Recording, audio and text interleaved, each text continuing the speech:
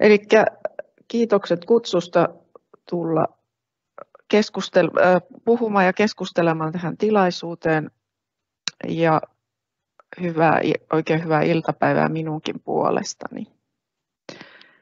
Ja en enää muista, että minkä otsikon sinne äh, ohjelmaan annoin, mutta sitä olen tässä nyt äh, pyöritellyt, että mikä olisi hyvä otsikko, koska aihehan on sellainen, että tulokulmia ja näkökulmia siihen olisi vaikka äh, kuinka paljon erilaisia ja mietin, että mikä olisi sellainen kiinnostavia tähän päivään sopiva.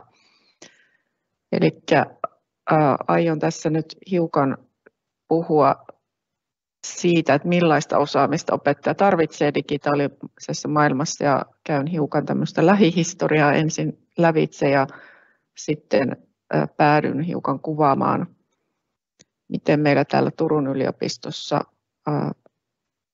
tulevien luokan opettajien digitaalista osaamista pyritään kehittämään ja antamaan siihen liittyvää opetusta. Ja lyhyesti hiukan tässä taustaa itsestäni, eli professuurini ala on oppiminen ja opettaminen ja erityisesti nyt sitten myös niin kuin digitalisaatioon liittyvät asiat. Oma taustani on vahvasti tuolla kasvatuspsykologian puolella, eli olen oppimisen tutkija ja oppimisen ja motivaation oppimisympäristön parissa olen, olenkin sitten tässä viimeiset 25 vuotta työskennellyt erilaisissa tutkimus- ja kehittämishankkeissa. Osallistujat ja tutkimuksen kohteena olleet osallistujat on olleet alakoululaisista aikuiskoulutukseen ja, ja erityisesti viime vuosina sitten myös, myös niin kuin työssäoppimisen kontekstissa olen päässyt olemaan mukana. Ja tämä on ollut hirveän mielenkiintoinen näköalapaikka siinä mielessä, että, että me ollaan niin kuin sieltä 90-luvulta asti puhuttu aina uusista oppimisympäristöistä ja ää, mitä taitoja opettaja tarvitsee selviytyäkseen näissä uusissa oppimisympäristöissä ja, ja mitä oppilaiden tulisi niin kuin oppia ja mikä on tärkeää. Ja, ja tota, se on aina, että mikä on milloinkin uutta, että välineiden kehitys on tietty ollut hyvin, hyvin nopeaa, mutta sitten tavallaan se pedagogia, mikä edellä meidän, meidän niin kuin kuuluisi mennä ja onkin hyvin usein menty, niin eihän se niin kuin muutu samalla tavalla. Tässä on hiukan näitä kuvia menneiltä vuosilta ja haluaisin erityisesti, että katsoisitte tuota vasemman puolesta pikkukuvaa, jossa on kaksi tyttöä tietokoneen äärellä. Siinä on CSL, Computer Supported Intentional Learning Environment. Se on ensimmäisiä, ellei ihan ensimmäinen tämmöinen yhteisöllinen oppimisympäristö, joka, joka tuotiin Suomeen tukemaan yhteisöllistä oppimista. Se oli raskaiden Mäkin pöytäkoneiden pyörittämä pyörit, ja vielä koulun sisäverkossa sitä pyöritettiin, että se ei ollut edes tota, nettiin yhteydessä ja siellä ää, Helsingin kaupungin opetusviraston tietotekniikkahankkeessa ää, kehitettiin sitten tämmöistä tiedonrakentelun ympäristöä. Ja se oli sitten osa myös mun väitöskirjatutkimusta, mutta sieltä on niin kuin lähdetty miettimään tätä ää, tavallaan niin kuin opetuksen ja oppimisen digitalisaatiota. Ja vuosien varrella ollut hyvin erilaisissa hankkeissa mukana kansallisissa ja kansainvälisissä. Ja Tähän listasinkin muutamia tämmöisiä kansallisia hankkeita, jotka varmasti on monelle tuttuja, koska niin kuin lähdin miettimään tätä aihetta siitä näkökulmasta käsin, että me paljon puhutaan opettajien tieto- ja viestintätekniikan käytöstä ja osaamisesta. Toki tämä terminologiakin on vuosien, vuosikymmenien mukana muuttunut, että, että siitä voisi tehdä niin kuin oman esityksensä, että mistä asioista me puhutaan. Että me ollaan lähdetty sieltä TVTstä ja nyt ehkä viime vuosina puhutaan sitten digipedagogiikasta, vaikka en ole edes varma, että onko se vielä niin kuin hyväksytty edes suomenkieliseksi sanaksi.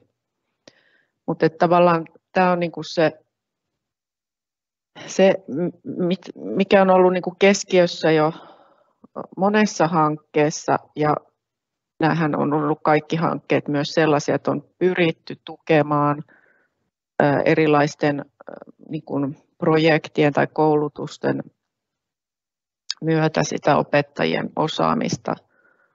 Että se ei ole pelkästään ollut sitä kartottamista. Tämä mun esimerkkilistani ei ole missään tapauksessa kaiken kattava, mutta että nostin siihen tällaista, missä itse olen ollut mukana tai ne on jotenkin olleet siihen aikaan sellaisia merkittäviä hankkeita. Toi OPEFI, missä määriteltiin näitä opettajan taitotasoja tieto- ja liittyen, niin muistelen, että siellä niin kuin ensimmäisen vaiheen jälkeen todettiin jotenkin, että kaikki, kaikki opettajat eivät olleet päässeet siihen ensimmäiselle taitotasolle. Että tavallaan on ollut sellainen usko, että, että saataisiin kaikki Suomen opettajat koulutettua, koulutettua tavallaan siihen perustasoon. Ja sittenhän OPEKA-kyselyt on tarkoituksella laittanut vaan tuohon nyt OPEKA, että toki siinä on sitten nämä ROPEKat ja OPPIKat ja muut. Et se on ollut tämmöinen aika iso sitten instrumentti, millä ollaan pystytty seuraamaan sitä, sitä osaamista ja käyttöä. Ja Sipilän hallitushan jakoi sitten myös niin kuin aika hyvin rahoitusta kärkihankkeisiin ja tutoropettajatoimintaan ja muuhun. Ja oikeastaan tähän vielä liitän tällaisen, tämä ei ole tietenkään mikään hanke, mutta että pandemia on pakottanut myös tietysti erilaisia asioita tapahtumaan ja myös sitten niin kuin sen pandemian tulosta on myös sitten monet niin kuin tutkimukset ja, ja tavallaan uudet hankkeet pandemian jälkeen sekä hyvässä että pahassa, jos ajatellaan, mitä se on aiheuttanut tähän niin kuin digitalisaation ja ylipäänsä niin kuin oppimisjärjestelyihin. Ö, tässä haluan vielä näyttää hiukan tätä historiaa vuodelta 2021 on, äh, 2001 on tämä raportti, jossa vertailtiin Helsingin kaupungin opettajia. Siellä kerättiin aineisto vuonna 1997 ja 1999. Ja siellä oli näiden kahden vuoden välillä merkittävästi lisääntynyt tämä tietokoneen käyttö opetuksessa. Esimerkiksi vuonna 1999 ei lainkaan käyttäviä oli enää 18 prosenttia. Huomaatte, että päivittäin tietokonetta ei, ei kauhean monet opettajat raportoineet käyttäneensä tuohon aikaan vielä.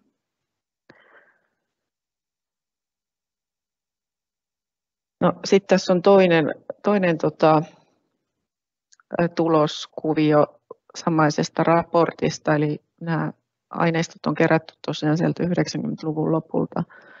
Ja ehkä halusin niin kuin tuoda tämän näkyviin erityisesti siitä, että vaikka tässä kysyttiin käytöstä ja osa-alueiden hallinnasta, niin erityisesti myös sitten ollaan aina kiinnostuttu tästä pedagogisesta soveltamisesta, että ei se pelkkä niin kuin käyttö ja tai laitteet, mutta myös se, että miten ja mihin sitä käytetään, eli siihen oppimisen tukemiseen.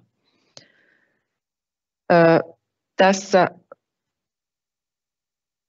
tiedon, tekstin käsittely on se, mikä koetaan, että hallitaan parhaiten.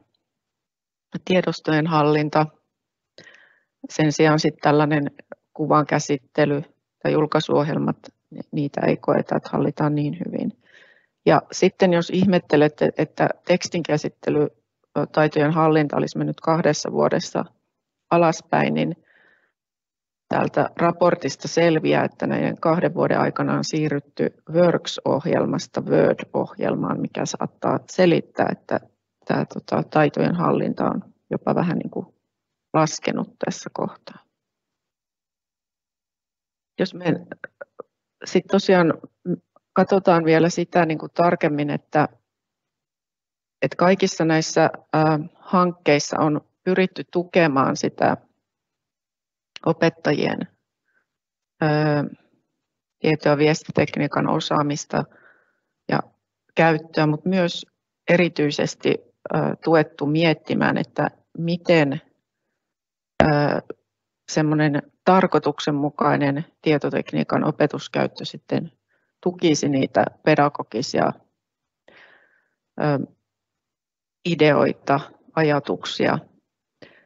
Ja halusin tämän kyselylomakkeen tässä näyttää muutamalla esimerkillä sen vuoksi, että, että tota, näissä hankkeissa on myös pyydetty opettajia ihan miettimään niin kuin periaatteen tasolla myös, että miten tällaiset niin kuin pedagogiset periaatteet sitten toteutuu siellä omassa opetuksessa. On myös tämä käytännön aspekti tässä ollut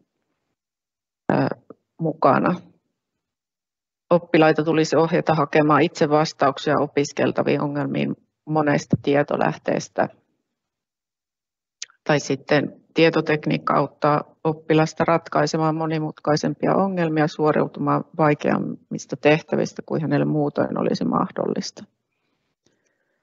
Siinä on vuoden 2001 kyselystä hyvin samantapaisia ajatuksia on näissä tota, uusissakin kuvauksissa. No, sitten hypätään kymmenen vuotta ajassa eteenpäin. On tota, Marja Kankaaranna ja Sanna Vahtivuori-Hännisen toimittamasta opetusteknologia koulun arjessa kakkososion raportista. Siellä on sitten tehty vielä enemmän näiden empiiristen kyselytutkimusten ja itsearvioiden lisäksi tällaista niin kuin teoreettisempaa jäsentelyä tietotekniikan niin kuin hyödyntämisestä opetuksesta, siitä opetuskäytöstä nimenomaan siitä pedagogisesta näkökulmasta. Ja tässä niin kuin halusin nostaa esille erityisesti nämä, nämä kaksi näkökulmaa. Eli edelleen niin kuin on nostettu tuohonkin aikaa esille se, että, että se, että me pystytään käyttämään näitä välineitä apuna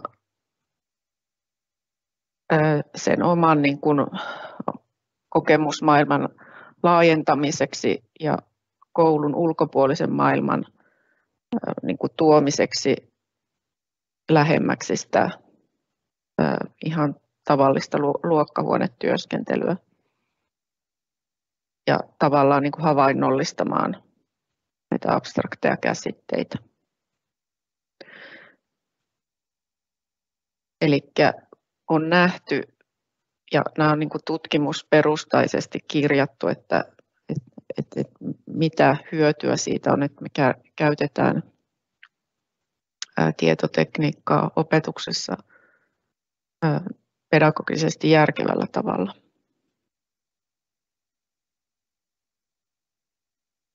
Sitten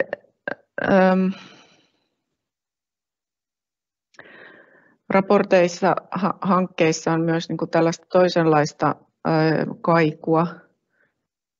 Eli digiajan peruskoulun raportissa sitten taas on todettu vuonna 2019 näin, että oppimismenetelmät painottuvat edelleen perinteisiin kirjoihin, vihkoihin, monisteisiin, jolloin digitaalisen osaamisen karttuminen jää ohueksi. Opetussuunnitelman perusteiden laaja-alaisissa osaamistavoitteissa korostettu oppilaiden oma aktiivisuus teknologian käytössä ei vielä toteudu. Eli aina ei ole sitten niin kuin päästy niihin tavoitteisiin, mitä on haluttu ja myös muistan, että aika paljon on puhuttu siinä, siitä vuosien varrella, että vaikka opettajille on annettu laitteita ja kouluihin on tuotu laitteita, niin mikseivät opettajat niitä käytä. Ja tähän keskusteluun on aina sanonut, että, että monesti on ollut myös sellainen tilanne, että verkot ei toimi tai on, on ö, ostettu laitteet ennen kuin on ostettu ohjelmia tai tota, sovelluksia niihin laitteisiin tai tosiaan varmistettu, että koulun verkko kestää kaikki ne uudet laitteet. Varsinkin alkuaikana oli ihan tämmöistä niin kuin teknistä haastetta todella paljon, niin eihän siinä niin kuin pysty yksittäinen opettaja sitten ihmeisiin. Eli nämäkin tota, tulokset pitää aina suhteuttaa siihen tavallaan aikaan ja myös siihen, että, että tätä di, niin kuin koulutuksen ja opetuksen digitalisaatiota ei pitäisi koskaan niin kuin ajatella niin mustavalkoisesti, miten ehkä varsinkin aiemmin on ajateltu, että, että kaikki olisi sitä digiä ja kirjat on, jota edustaa jotain historiaa, että sehän ei kuitenkaan ole se totuus, vaan, vaan opettaja osaa itse päättää sen, että milloin se digitaalinen maailma on, on järkevä lisä siinä omassa opetuksessa. Ihan niin kuin kaikessa, kaikessa muussakin, mitä niin kuin jokainen opettaja siihen opetuksensa suunnittelee. Tässä vielä sitten muutama kuva tuolta digiajan peruskoulu kakkosraportista. Tämä on myös sitten se, mistä keskustelua usein käydään, että tässä on, huomaatte, että monella on moni opettaja on raportoinut, että omaa tällaiset perustason TVT-taidot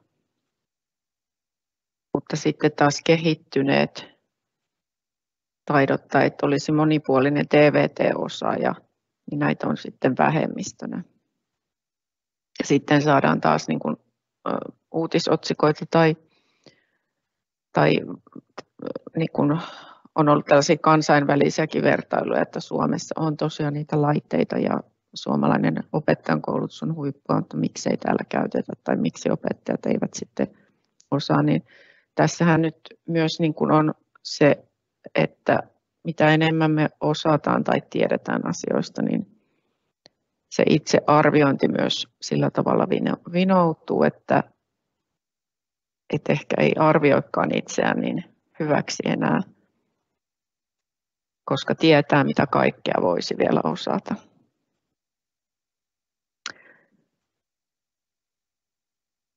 Tässä vielä yksi kuva, missä kuvataan sitä, miten opettajat ovat arvioineet, arvioineet omaa osaamistaan suhteessa tällaisiin erilaisiin moduuleihin ja nimenomaan omien taitojensa riittävyyttä suhteessa siihen oman työnsä vaatimuksiin nähden. Ja tässä ehkä se kiinnostava on tämä digisisällön tuottamisen moduuli, johon kuuluu kuvan, äänen, videokäsittelyn perusteet sekä pilvipalvelu ja sisällön jakamisen perusasiat. Eli se on tämän, tämän raportin mukaan sellainen, missä opettajat kokee riittämättömyyttä sitten. Ja tavallaan tämän, tämän kuvan halusin tuoda tähän sen takia, että, että jos koetaan erityisesti tämmöisessä niin kuin sisällön tuottamisessa riittämättömyyttä. Ja tänään erityisesti mietitään näitä opettajan digitaitoja, tämän kun uudet lukutaidot näkökulman kautta, niin seuraavaksi ajattelin, että voidaan niin kuin miettiä, että jos meillä on tämä oppijan digitaalinen osaaminen, jossa on keskiössä luova tuottaminen, niin mitä ne opettajan tarvitsemat taidot sitten voisi olla, jotta hän pystyisi tukemaan oppilaitaan tällaisessa tota, luovassa tuottamisessa. Ja tähän listasin ihan tällaisia niin kuin, aika yleisellä tasolla taitoja, eli niin kuin yhdessä tekemis, tekemisen taitojen mallintamista. Opettajalla tulisi olla taitoa käyttää erilaisia ryhmätyötiloja tai oppimisympäristöjä, mutta myös niin kuin taitoa rohkaista oppilaita tällaisiin erilaisiin kokeiluihin ja luoviin ratkaisuihin. Ja se, mitä, mistä ennen puhuttiin tällaisena tutkivana oppimisena, ja nyt ehkä enemmän sitten puhutaan ilmiöpohjaisesta oppimisesta, oppimisprojekteista, eli tämän tyyppisistä asioista sitten, mutta myös sitten minkälaiset välineet ja materiaalit opettaja valitsisi, että miten pystyisi niin kuin valitsemaan näihin niitä välineitä. Ja tässä tämän päivän alustuksessa tulikin, tulikin niin kuin hyviä vinkkejä siitä, että nykypäivänä opettaja ei missään tapauksessa ole yksin, että on hirvittävän paljon tällaista hyvää materiaalia olemassa, mistä pystyy niin kuin hakemaan niitä vinkkejä muualtakin kuin alakoulun aareaitasta, mikä, mikä on sekin varmasti niin kuin hyvä ryhmä. En sitä, sitä niin kuin yhtään tässä halua mollata, mutta, mutta tavallaan näitä, mitä tässä alussakin oli tämä julkaisu, että miten löytää laadukkaita digitaalisia materiaaleja ja palveluita, niin on ihan loistavaa, että näitä on nykyisin olemassa. Ja sitten jos ajatellaan tätä aktiivista toimijuutta, mitä tulisi myös niin kuin tukea,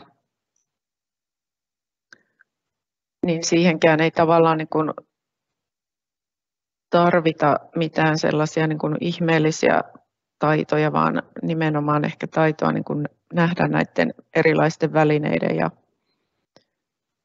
oppimisympäristöön mahdollisuudet siihen, että miten, miten saadaan niin kuin kannustettua oppilaita toimimaan toki omien lähtökohtien mukaisesti, mutta myös sitten siihen yhteisölliseen toimintaan ja jakamiseen. Ja sitten ennen kaikkea, että luoda niin kuin alusta asti sellainen toimintakulttuuri, jossa se vuorovaikutus olisi kaikkien kokemuksen mielestä niin kuin turvallista ja, ja että se olisi sellainen vastuullinen ympäristöoppia.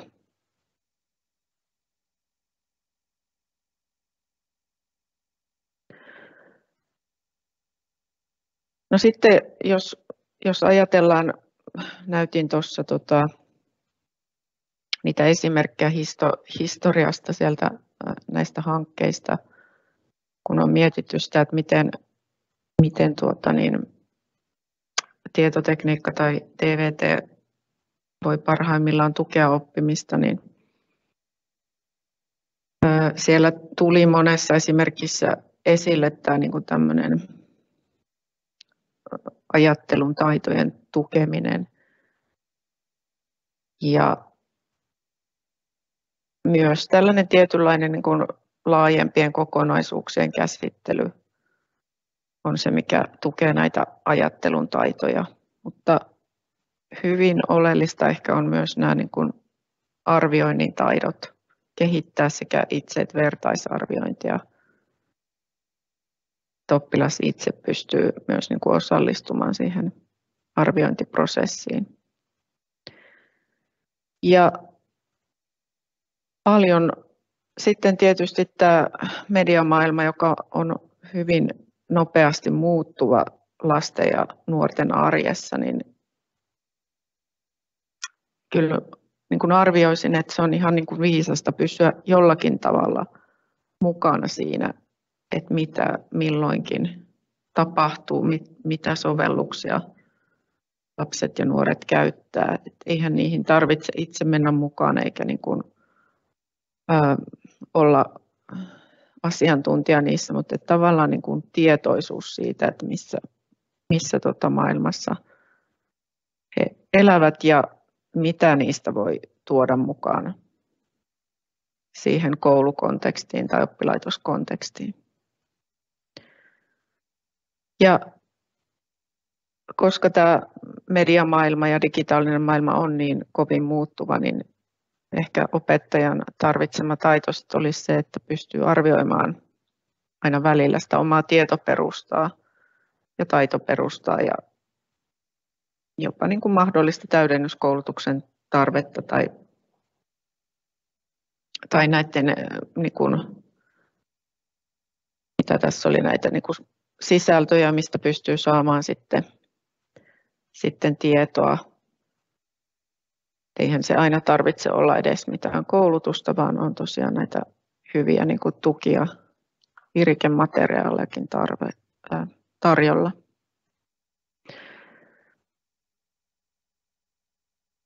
No sitten mitä kaikki tämä niin kuin tavallaan tämä lyhyt historia 25 vuoden aikana, mitä voidaan siitä oppia, että, että vaikka me ollaan niin kuin seurattu opettajien osaamista ja käyttöä ja ei olla ollut aina tyytyväisiä siihen, että miten se osaaminen on kehittynyt tai käyttääkö opettajat tarpeeksi nyt opetuksessa tietotekniikkaa, niin ehkä se viesti on kuitenkin se, että opettajan ei tarvitse olla mikään huippuosaaja selvitäkseen tässä niin kuin digitaalisessa maailmassa. Öö, mutta lähinnä tarvitaan varmaan sitä intoa ja kykyä uudistua ja sopeutua siihen muutokseen, mutta ei nyt tarkoita taas myöskään sitä, että pitäisi koko ajan olla niin kuin kehittymässä tai innostumassa, vaan tässäkin niin kuin sitä omaa tervettä järkeä kannattaa käyttää. Ja valmius sellaisen kehittymiseen, ja tässäkin niin kuin tarkoitan sitä, että on halukas ehkä katsomaan niitä tukimateriaaleja tai, tai niin kuin sen tyyppistä. Ei kaikkien tarvitse mennä niihin täydennyskoulutuksiinkaan välttämättä. Mutta ennen kaikkea, mitä itse ajattelen jo siitäkin näkökulmasta, että silloin 25 vuotta sitten, kun me aloiteltiin näitä niin kuin oppimiseen ja koulutukseen liittyviä digitalisaation hankkeita, niin piirit oli hyvin pienet silloin ja osattiin suunnilleen nimetä ne oppimisympäristöt nimeltä ja henkilöt, jotka niin kuin toimii tällä alalla, mutta nyt, nythän se on niin kuin täysin mahdotonta. Niin samalla lailla mä ajattelisin myös, se, myös niin kuin, niin kuin opettajan työn näkökulmasta, että harva pärjää yksin, että kannattaa ilman muuta toimia yhdessä ja verkostoitua eri tavoin ja jakaa myös sitä omaa tietoa ja osaamista. Siitä hyötyy kaikki. Eikä sen tarvitse olla mitään sellaista raskasta, vaan hyvin niin kuin voi olla informaaliakin ja sellaista nopeaa. Ja tässä ihan vain esimerkinomaisesti meillä opettajan koulutuslaitoksella on tällä hetkellä esimerkiksi opettajien erikoistumiskoulutus, missä tota voi erikoistua sitten hiukan niin kuin laajemmalla, laajemmalla koulutuksella oppimisen ja opettamiseen digitaalisissa ympäristöissä. Ja näinkin, että tuossa iltapäivän ohjelmassa on nykyisiä ja koulutuksen käyneitä erkolaisia pitämässä näitä iltapäivän sessioita. Ja sitten tosiaan meillä on myös tällainen digierkoverkosto, mihin voi halutessaan liittyä. Mutta sitten vielä ihan lyhyesti kertoisin tästä opettajan koulutuksesta, opettajan koulutuksen näkökulmasta. Eli meillähän on tietysti niin kuin läpäisyperiaatteella useissa oppiaineissa ja sisällöissä täällä meidän laitoksella. Lisäksi meillä on yksi kurssi, joka on kaikille pakollinen. Ja sitten meillä on nämä digitaalisen oppimisen ja opettamisen sivuaineopinnot, joita voi suorittaa yhteensä 60 opintopistettä. Ja tässä on meidän sivuaineopiskelijoiden töitä kuvattuna. Ja sanapilvi liittyy siihen, että heiltä on kysytty, että mitä digipedagogiikka tuo heille mieleen.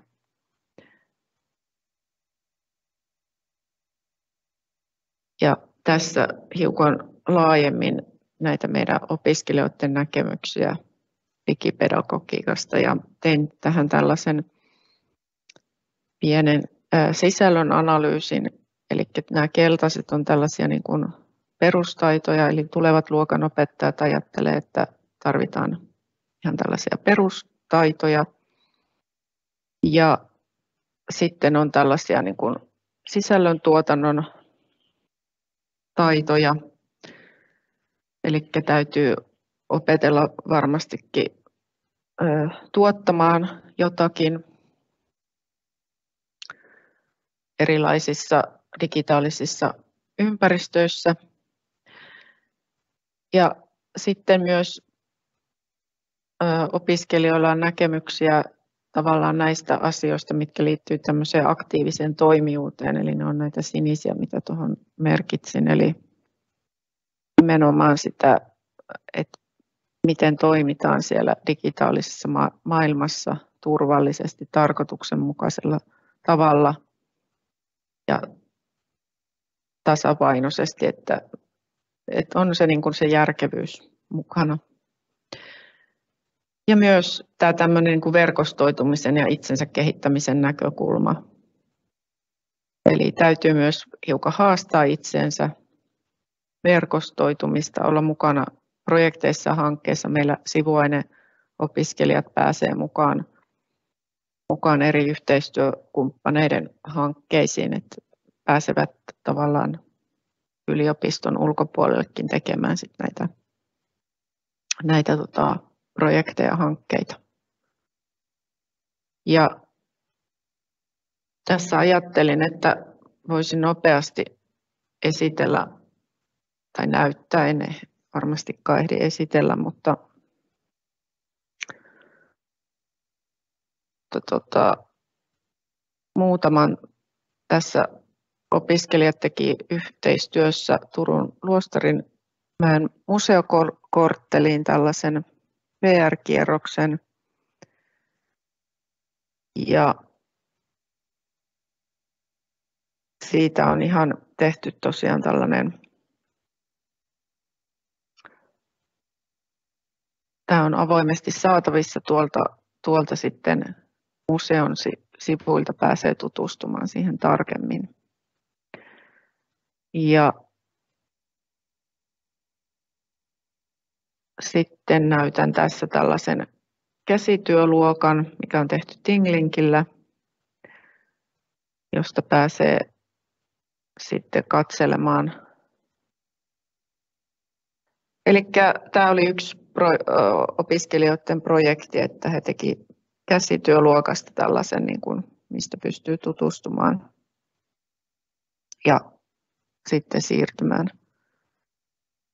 myöskin näihin eri tiloihin. Ja tässä oli tosiaan tämä Luostarinmäen, mitä ette nähneet, nähneet myöskään, niin on tehneet tämän toinen opiskelijaryhmä sitten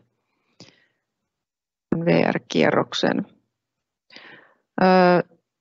Sitten tuota, katsotaan, tuolla oli vielä yksi projektiesimerkki, jonka näytän teille.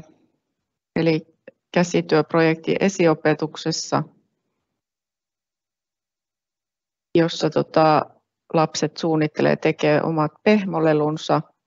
En mene tässä yksityiskohtiin, mutta haluan niin kuin näyttää tämän. Eli tässä on niin kuin, ö,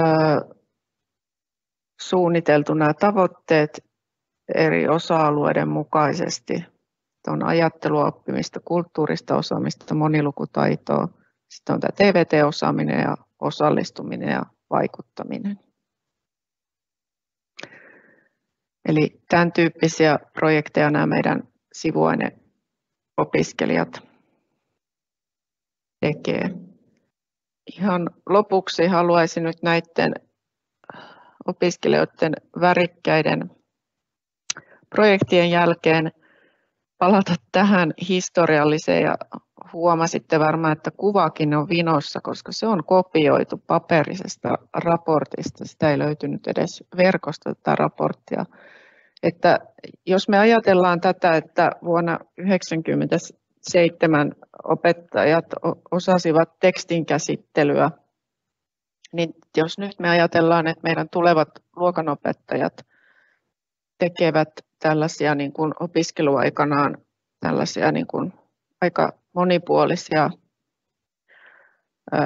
sisällöntuotannon projekteja, niin sanoisin, että, että meillä olla, että olemme menneet 25 vuodessa aika, aika paljon eteenpäin ja, ja, ja meillä on todella paljon niin kuin sellaista tukea ja materiaalia saatavilla opettajille, että mä, mä niin kuin itse katsoisin, että ollaan aika hyvään tila, tilanteeseen päät, päät, päästy tässä niin kuin vuosien ja vuosikymmenien aikana.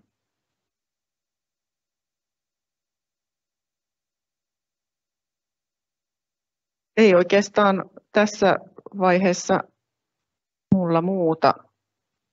Toivottavasti pysyitte kärryillä tässä pienessä historiikissa.